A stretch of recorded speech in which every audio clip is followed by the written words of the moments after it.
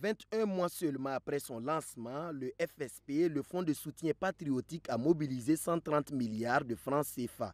Cela traduit une implication des Burkinabés pour un retour de la paix au Faso, se dit le gouvernement.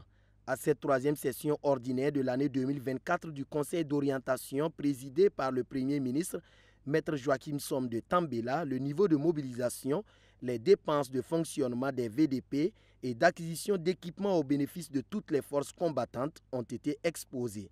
Au 22 septembre 2024, c'est plus de 130 milliards qui ont été mobilisés. Toute chose qui permet au gouvernement de prendre en charge efficacement les dépenses de fonctionnement des VDP et d'acquisition d'équipements au bénéfice de toutes les forces combattantes. Qu'il me soit permis, au nom de son Excellence le capitaine Ibrahim Traoré, président du FASO, chef de l'État, de traduire une fois de plus l'entière reconnaissance à toutes les bonnes volontés de tous âges et de toutes catégories socio-professionnelles qui ne cessent de manifester leur adhésion à cette cause nationale en se succédant assez régulièrement pour apporter leur contribution au FSP. Comme difficulté relevée, il s'agit de l'insuffisance de ressources humaines au niveau de la brigade VDP, notamment dans les structures déconcentrées et les unités combattantes, mais la dynamique est bonne, se satisfait le Conseil d'orientation. Les travaux de cette session ordinaire du Conseil d'orientation du FSP portent sur l'ordre du jour suivant. Examen et adoption du rapport, du troisième rapport de gestion 2024 du Fonds.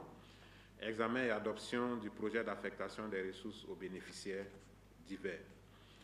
L'exercice qui nous réunit devrait donc nous permettre de dresser l'état de mise en œuvre du FSP au troisième trimestre de proposer des solutions aux goulots d'étranglement éventuels identifiés et de formuler des orientations dont la mise en œuvre devrait garantir sa contribution optimale à la lutte pour la restauration de l'intégrité territoriale. Comme perspective, le Conseil compte entre autres poursuivre le renforcement du suivi auprès des entreprises pour une optimisation de la collecte des ressources au profit du fonds, l'intensification des actions de communication du FSP le passage à une plus grande échelle du paiement des primes des VDP par mobile money.